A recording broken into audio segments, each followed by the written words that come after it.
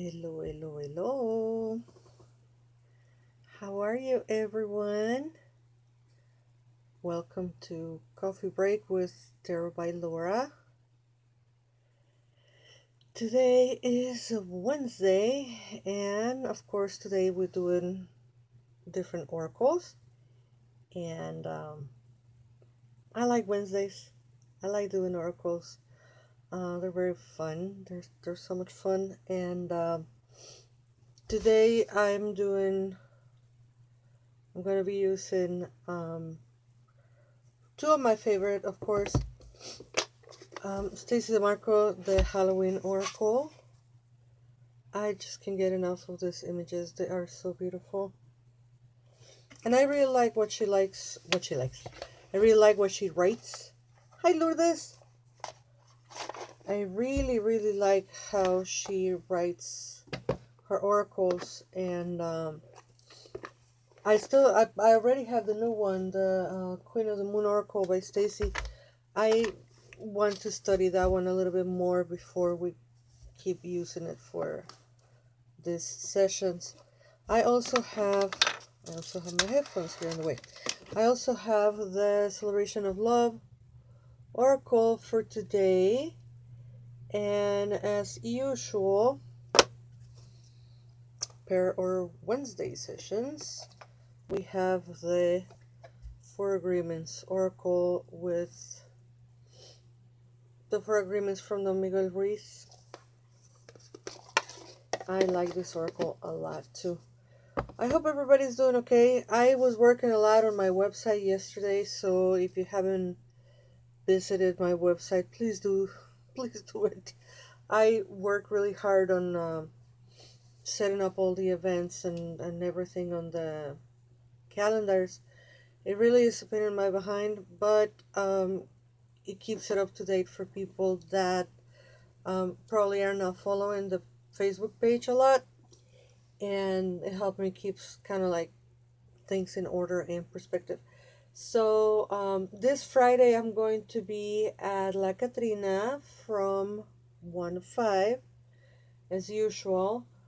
Um, over the weekend I'm free this weekend. It happens. Sometimes, you know, sometimes I'm free on the weekends and uh, I'm doing personal um, shenanigans, you know. And then on Tuesday, the 19th, we are back with open house here in Chicago. And that is from 1 to 5. Um, and of course, we have some time to have appointments for next Thursday as well.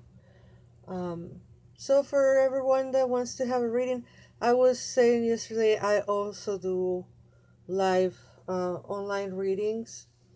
And uh, hi, Elizabeth from Venezuela, I think. Hi, Elizabeth. Thank you for joining. And, um, you know, I really wanted to have rings, and I left my other rings on the on the kitchen. And these rings are just not doing it. They're a little uncomfortable. Anyway, let's get down to business and pull our first oracle card for today. Oh, I was telling you, I also do online and uh, by Skype or Messenger readings. Um, so if you're ever interested, if you're not in Chicago, or if you're in Chicago but you don't feel like coming to see me in person, we can do um, Messenger or Skype. I don't do over the phone because I lose half of the body language conversation. Hi, Gemini. How are you, honey? Ooh, all those hearts. Thank you, thank you, thank you. I love those hearts on uh, Instagram. They look so cute. Because they're colorful. Not that I don't like the hearts on Facebook, but the hearts on Instagram are very, very cute. Alright, let's see what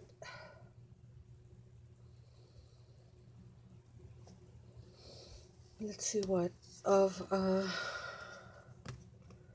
today we have remembrance the lamp so this is the Stacey Demarco Halloween Oracle I don't care that we are not on Halloween time. I like the Oracle a lot. So the lamp, remembrance. Let's see what this has to say.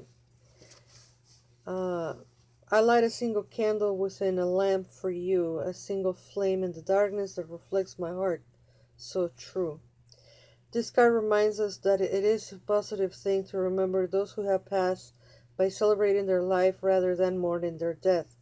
For those with whom we did not have an easy relationship, or even those we did not like, leave us with valuable lessons. Sometimes we learn more from our nemesis than we do from our friends, and so the darkness can illuminate our strengths and our true values so that we can live them more clearly and fully.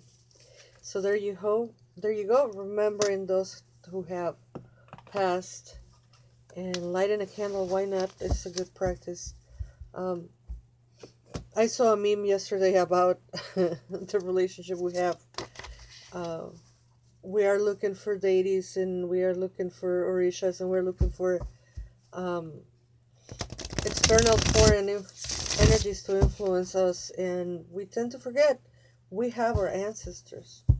We all have our ancestors of um, as i learned from reverend selena fox uh, those connections can be of land of tradition lineage and of course blood.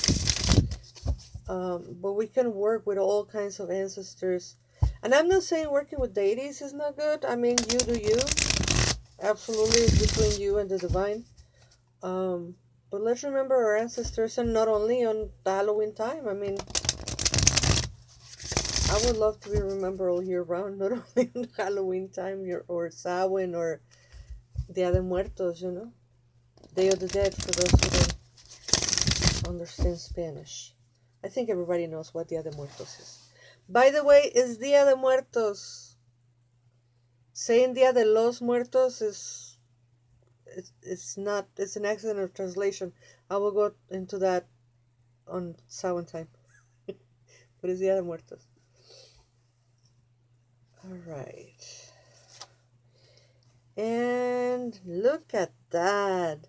Celebration of love brings us empowerment peaceful dreaming and a beautiful beautiful unicorn I just thought of my friend Aaron because we cheesy things like that we used to say all the time. All of the cheese. So cheesy. So the unicorn of empowerment has of course a message. And let's see what that message is. Glasses. So I can read. Ooh, I look so serious. I'm a teacher. Um, empowerment. You are being challenged by a feeling of unworthiness about something. You are being inspired to let go of that illusion and to celebrate your divinity and how the creator or creatrix um, wants only the best for you. I repeat, special message. You are being challenged by a feeling of unworthiness about something. You are being inspired to let go of that illusion and to celebrate your divinity and how the divine wants only the best for you. So there you have it. Empower yourself. Um, that self worth issue really is a problem, an epidemic. you are worth, you are enough, you are love, you are good at what you do all of us have this uh, silly imposters syndrome. Forget about that. We all have abilities and we all have traits that are amazing and we are unique and nice or, or uniqueness that makes us worthy. And if somebody thinks you're not worthy, then they can walk out of your life. We throw that term, right? Toxic relationships so loosely. Let's really cut off those toxic relationships. And among those toxic relationships will be people who tell you that you're not worthy. What? that says more about them than it says about you. You are loved. That's why I tell you all the time you are loved because we need to be reminded and we need to remind everyone all the time um, that we live in love. And there are times that doesn't mean you have to be happy all the time, you know, but that you love yourself. It's so complicated. Okay. The four agreements. The four agreements says two cards and one came from the don't take anything personal agreement and the other one from the don't make assumptions. So i will read the don't make assumptions first. Here it is. Oop, that's clear.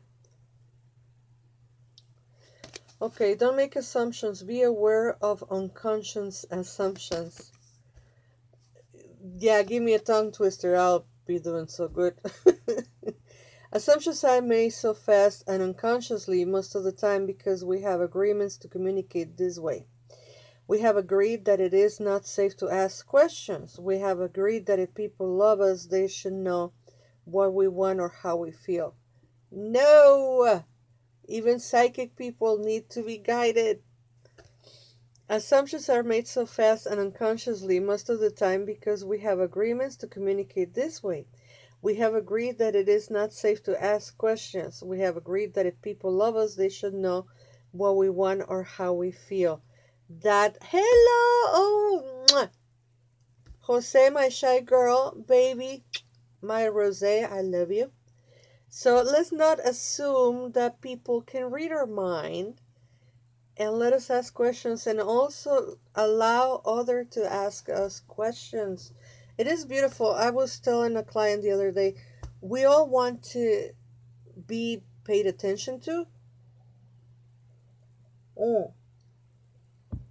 And asking questions to your friends, to your lovers, to your spouse, to your, I don't know, even the people that shine your shoes. I don't know.